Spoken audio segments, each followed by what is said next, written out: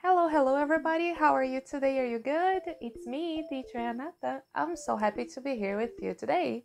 Today I'm here to start volume 4 with you. Olha só, já chegamos no nosso volume 4 e hoje a gente vai iniciar então o chapter 7, ok? In this chapter we are going to talk about the weather. Conta pra teacher, como é que é o clima na cidade de vocês? Is it hot, cold, windy? Hoje então a gente vai iniciar o nosso capítulo falando então sobre esse vocabulário. A gente vai aprender então como é que a gente responde, ok? How is the weather today? Como é que tá o clima hoje? Hum, tá frio? Tá quente? Tá nublado? Tá com bastante vento? Alright?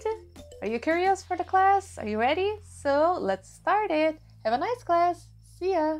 Hey there! Are you curious to start chapter 7?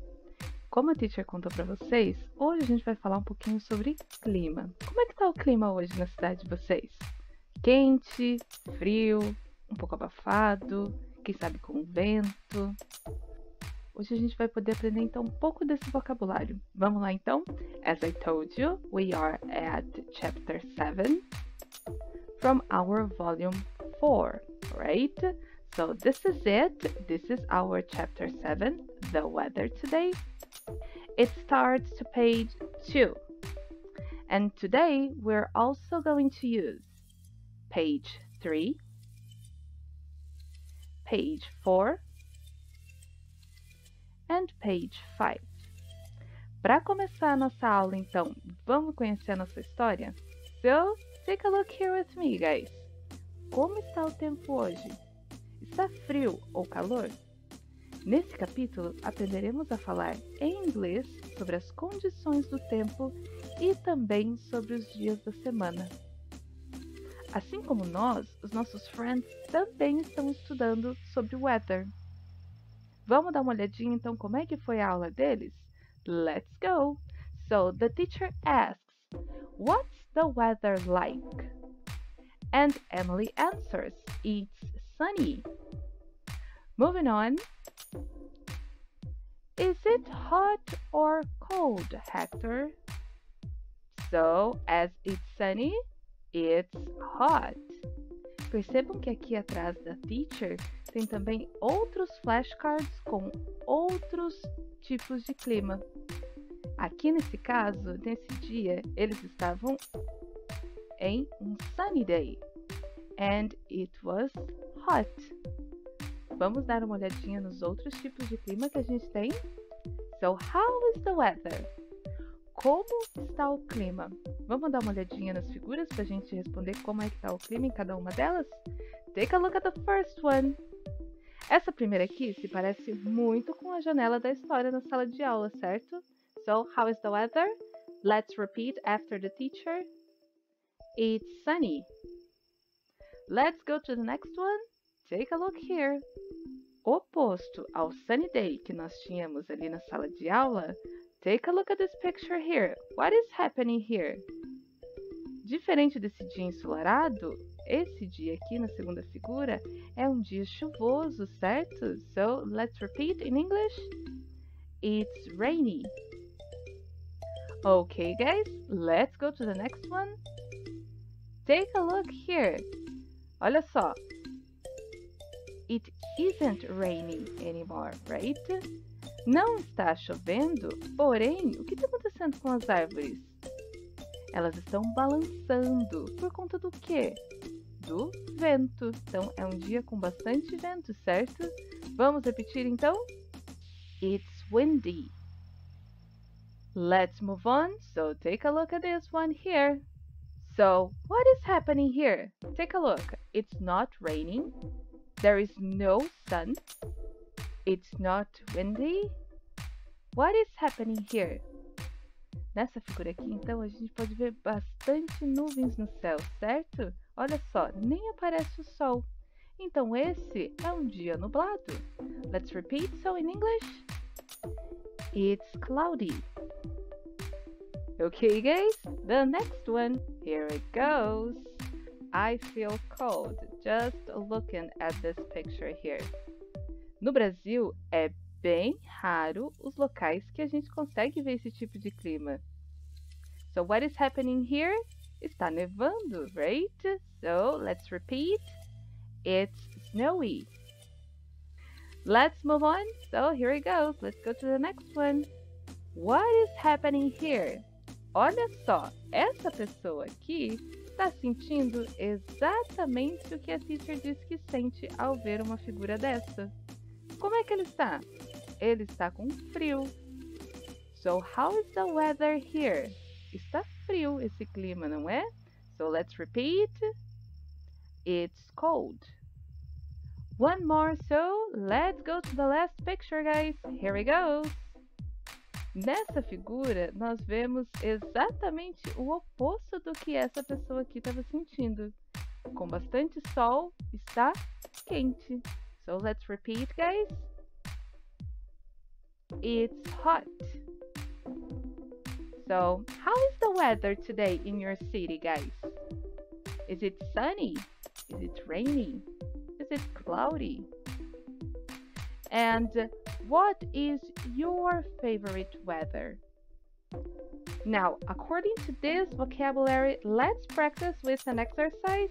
Let's go, guys. Take a look here. We are going to choose the correct word. We have pictures here and we have some weather words here to complete it, right? So we have sunny, rainy, windy, cold, hot, and cloudy. So let's take a look at the pictures so then we can complete it. The first one here, guys, take a look. What is happening here? We have no sun and we have no rain. We just have a lot of clouds. So it's cloudy. Now, how about the next one? Take a look. We have sun. Here's the sun. But take a look at the clothes. Olha só essas roupas que essa pessoa está usando. Ela está usando uma touca, está usando cachecol, está usando uma blusa bem grossa. Tem sol, mas qual que é o clima? Está frio. So it's cold. The next one, guys, take a look here. So, agora nessa próxima figura aqui, a gente tem bastante água e uma pessoa segurando um guarda-chuva. So, how is the weather here? It's rainy. Let's go to the next one. Take a look here. So, this picture is the opposite of this one here. Do you agree with that? Então, olha só. Nas duas figuras, nós temos o Sol. Mas, diferente dessa figura aqui, dessa segunda figura que a pessoa está usando touca, cachecol e o casaco, essa pessoa aqui está usando apenas uma camiseta e ela tem uma toalha nos ombros que ela está usando para poder se enxugar. Então, diferente desse weather aqui que era cold, esse aqui é o oposto. So it's hot. Okay, guys, moving on. Take a look here. As you can see, here we have a beautiful park. And the sky is all blue. And we have a really bright and big sun here. So how is the weather here? It's sunny. Agora nós temos apenas uma palavra sobrando, que é windy. And as you can see, this guy here is having some problems with his umbrella. Quando é que esse tipo de coisa acontece? Quando tem bastante vento, certo? Então, how is the weather? It's windy.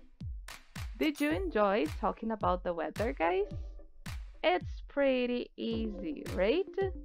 Então, olha só, vimos o nosso vocabulário e praticamos ele em exercício. Agora, a teacher trouxe mais duas curiosidades aqui para vocês. Vamos dar uma olhadinha? Here! Olha só, a teacher trouxe a temperatura mais alta e a temperatura mais baixa já registrada em algum lugar do mundo. Vamos começar pela mais alta? Vou mostrar para vocês. Here it goes! The highest temperature ever recorded was 56.7 degrees. it was recorded in Death Valley in California, USA. Imagina só então a temperatura mais alta ser de 56 graus ponto 7 lá na Califórnia, nos Estados Unidos.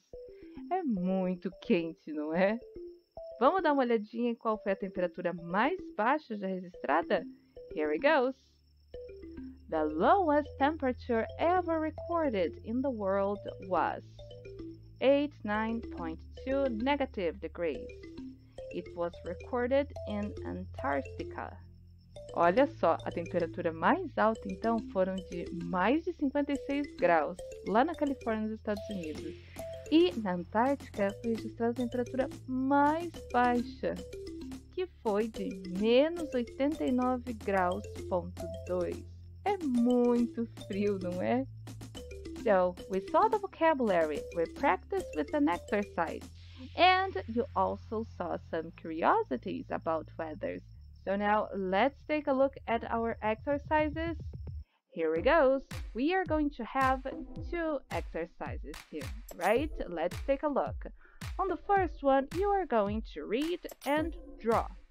So you are going to have three windows. Take a look here.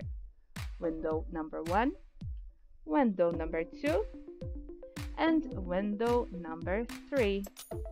Abaixo dessas nossas windows, das nossas janelas, nós temos três tipos diferentes de clima. E vocês terão que desenhar nessa janela o clima de cada uma delas. On the first one, it's sunny. So you are going to draw a beautiful sun here. On the next one, it's rainy. So you are going to draw the rain here. And on the third window, it's snowy. You can draw a snowman there. Usem a criatividade aqui. Pode desenhar um boneco de neve, pode desenhar bastante neve em cima das casas.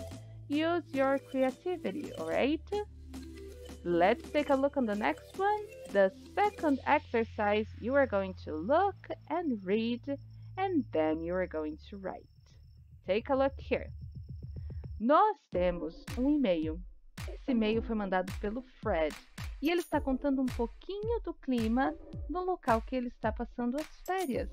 So, let's take a look here. He is saying, Hi Tom, I'm on vacation at the beach. Today the weather is hot and sunny. Sometimes in the afternoon it's rainy or cloudy. What's the weather like in your city? Então ele escreveu assim para o Tom. Ele contou que ele está de férias na praia e que no dia que ele estava mandando, o clima estava quente e ensolarado. Mas ele também contou que às vezes da tarde chove ou fica nublado. E por fim, o Fred pergunta: What's the weather like in your city? Então, como é que é o clima na sua cidade? According to this, so you are going to answer him. Para responder esse e-mail do Fred, nós vamos enviar para ele um cartão postal para a gente mostrar um pouquinho da nossa cidade e escrever sobre ela. Então, o cartão postal é dividido em duas partes. Nessa parte da frente, então, a gente vai escrever a nossa cidade e depois a gente vai fazer um desenho dela então vocês vão fazer esse desenho com o nome e o clima da sua cidade, right? E no verso a gente vai colocar as informações sobre ela. Essa atividade aqui é bem legal para vocês contarem um pouquinho sobre a cidade de vocês, ok? Então não se esqueçam, nome da cidade, o desenho dela com o clima que vocês escolheram, completar a sentença com o clima e o nome de vocês e por fim o endereço. Para quem que é? É para o Fred e o endereço dele, right? So this is it. Não esquece então que o link para essas atividades vão estar aqui na descrição do vídeo e a teacher também faz um outro vídeo fazendo a correção desses exercícios. Alright guys, thank you so much. Have a good day, have a nice study and I see you around. Bye bye.